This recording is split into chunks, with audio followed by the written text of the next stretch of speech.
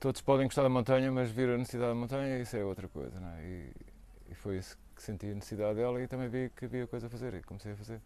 Puxar pelos de cá pouco que não, não dão assim muito valor à montanha. Esses são os que menos, eh, menos tratam e menos exigem, deviam ser os primeiros que deviam fazer.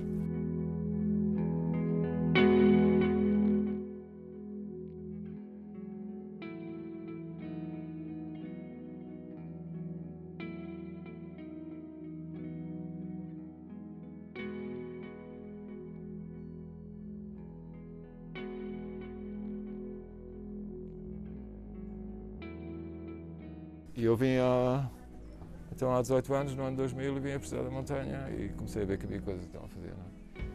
Comecei a tratar. Mas é como o lugar onde habito. É, é a minha casa agora, neste momento, a montanha onde estou a habitar. É?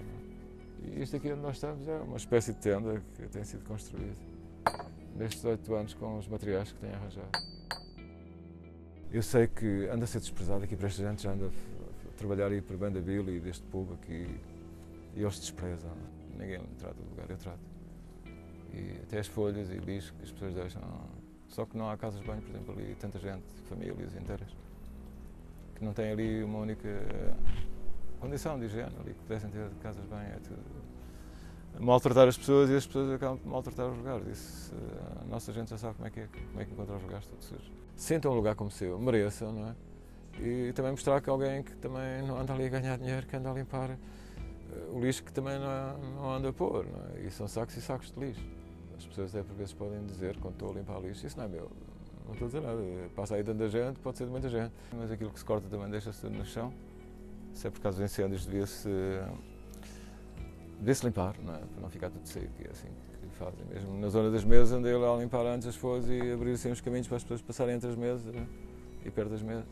E há pouco tempo é que andei lá a cortar as gestas, que são ramos, já grandes, e deixar lá tudo espalhado onde já estava tudo bem. O chá, o lenho, o mel, a madeira, a água, tudo o que a montanha dá e depois os turistas que vêm visitar, tudo isso eles tiram lucro, mas o tratar, os, o Estado que faça, da parte daqueles que têm a responsabilidade de pôr a gente a trabalhar, porque eu também consigo-lhes mostrar que é possível parar, só que tem que se fazer é? e continuar.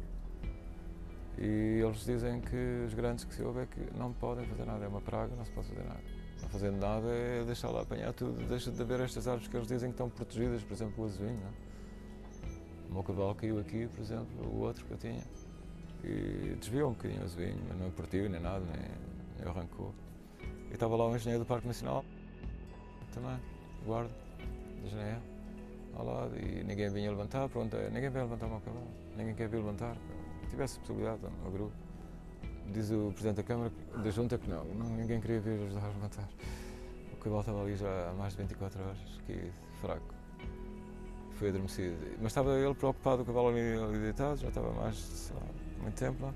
E o do Parque Nacional, esse engenheiro, que diz que o cavalo tinha ido contra o livro. Eu não estava preocupado com o cavalo, só estava preocupado com o azevinho.